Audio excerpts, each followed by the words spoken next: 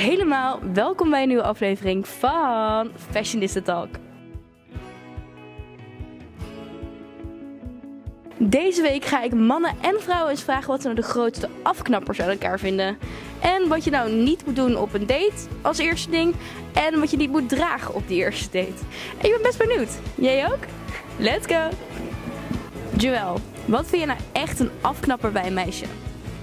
Eh, ja, als ze heel arrogant is, dat moet ik echt niet hebben. En ehm, ja, ze moet niet altijd stoer zijn, denk ik. Dat is het vooral, denk ik. Als ze maar lief is. Laten we daarop houden. Als ze maar lief is. Wat vind jij de grootste afknappers bij mannen?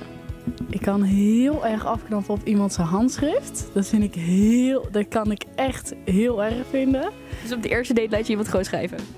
Nee, maar als ik de eerste date heel leuk vind en iemand schrijft erna heel lelijk, vind ik dat echt, dan ben ik klaar.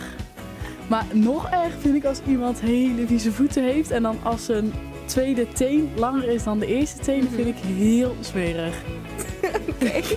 Echt heel vies. Wel, wel heel erg specifiek. Als ze zo zich te stoer voelen.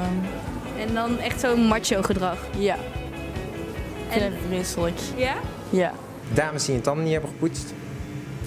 En twee, dames die denken eh, dat de jongen altijd alles moet doen. Op wat voor manier bedoel je dat? Ja, ik vind dat een relatie, of in ieder geval zo, sowieso je date, moet er niet altijd automatisch uitgegaan worden dat de jongens altijd alles voor jou fixt. Dat is, kan een grote afknapper zijn voor een man. Die heeft dan misschien zoiets van, ja, ik wil graag een gelijkgestemde relatie in plaats van, eh, ja, jij regelt het allemaal maar. Dus voor jou mag de vrouw eigenlijk ook wel een steentje bijdragen. Ja, daar zijn, zijn we toch eh, sterk genoeg voor? Maar vind je dan ook dat de vrouw bijvoorbeeld een man mag versieren? Tuurlijk. Ja?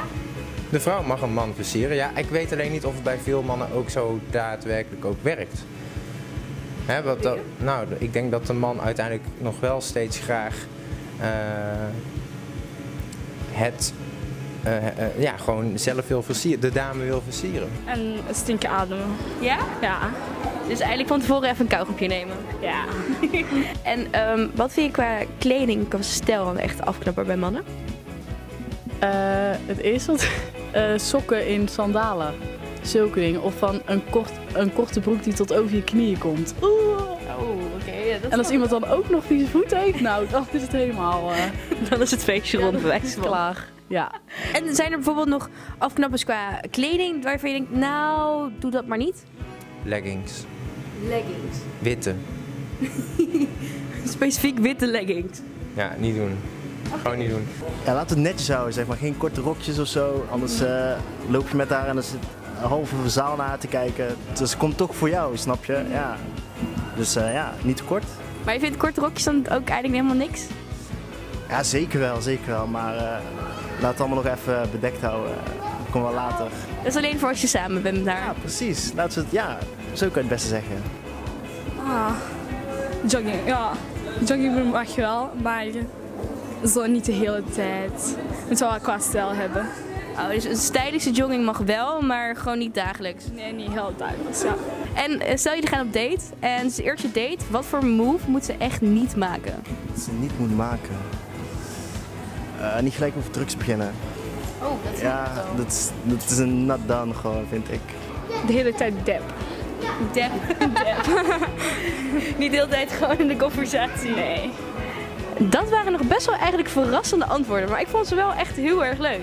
Bekijk onze vorige video hier. En ben je nou nog niet geabonneerd op dit te gekke YouTube kanaal? Doe dat snel hieronder. Zie ik je de volgende keer weer. Doei doei!